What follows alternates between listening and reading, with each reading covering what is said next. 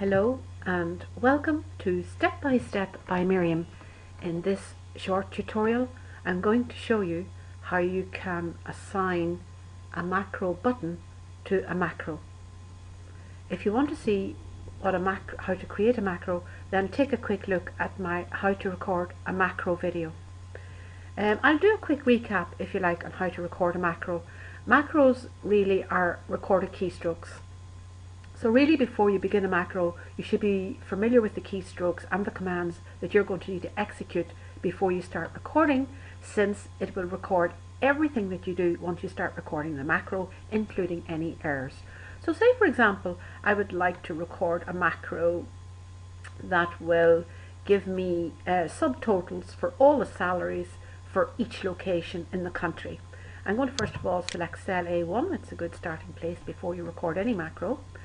So first thing I would like to do is to uh, click on the developer tab. Now if you do not have the developer tab showing on the ribbon then just simply click on the Microsoft Office button and when you do this it will give you the drop down menu. You then bring your mouse pointer to the bottom of the drop down menu where it says Excel options. This is 2007 version of Excel so that's why I'm getting Excel options down here. So I click on Excel options then we click on the popular category over here on the left hand side of the dialog box. And once you do that, you will then have access to Show Developer tab in the ribbon.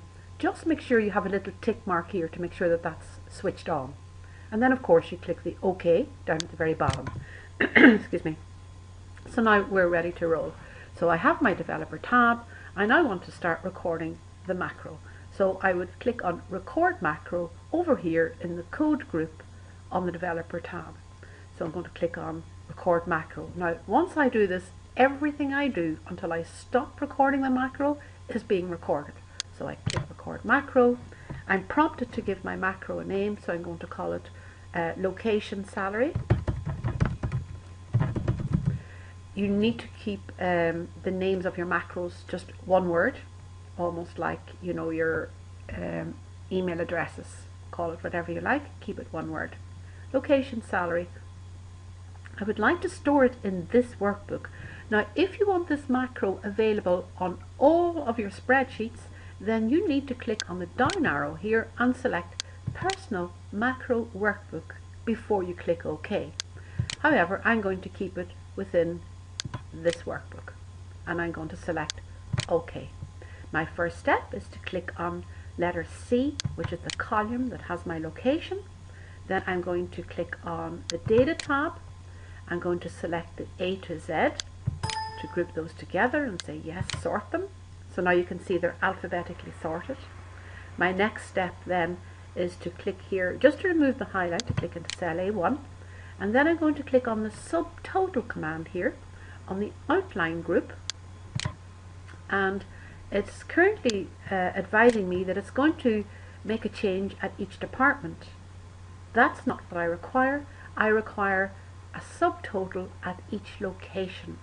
So I click on the down arrow and I select location. The sum function is exactly what I want and the salary is exactly what I want. So I now say OK. And to see that in a better format, I would click on the two level, the second level over here. So as you can see, it has now literally taken all the information, sorted it all out by the different locations, and it has summed. It has given me a subtotal of the amount of salary that I must pay out on each of the locations for my staff. So I'm now going to stop recording that macro. I click on the developer tab and I click here on stop recording the macro. So now my macro has stopped recording. So I'm no longer recording the macro at this point. Now to remove this uh, and to bring it back to its data, I click on the data tab and then click on subtotal and remove all the subtotals so that I can, I'm really back to my starting point again. I now wish to add little buttons just here on this spreadsheet so that anytime that my information is in here, I simply click on the buttons and it produces the results for me, just to make life a little easier.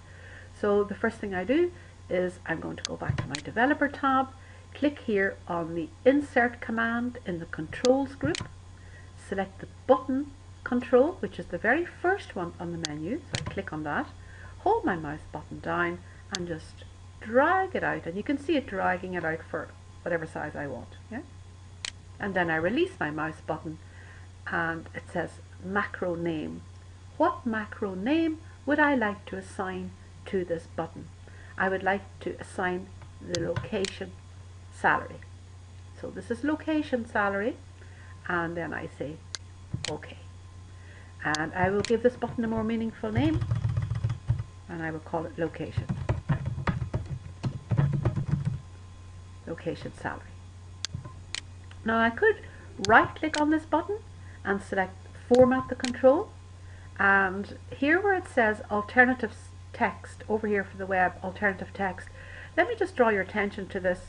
This is very good and particularly if someone with maybe visual impairment then they could obviously the web text will be read location salary the button and it's also very good for web browsers.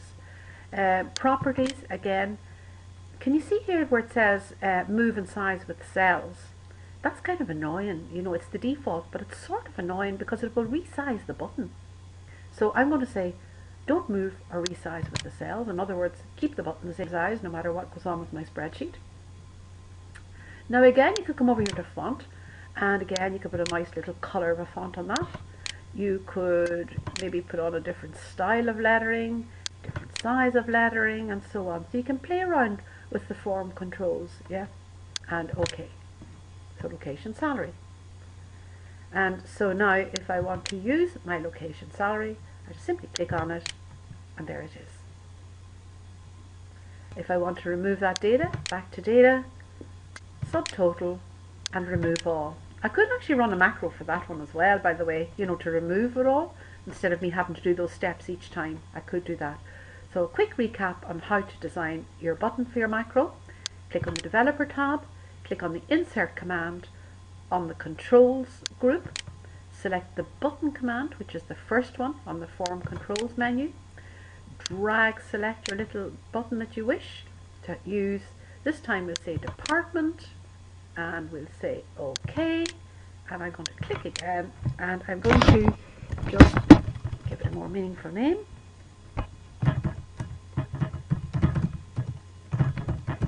Department salary click anywhere just to remove that. And again I can right click on it and I can do the same again. Format the control again. I mean I can use maybe you know I don't know Arial and we use maybe a different color of a font. Maybe we bold that as well and so on.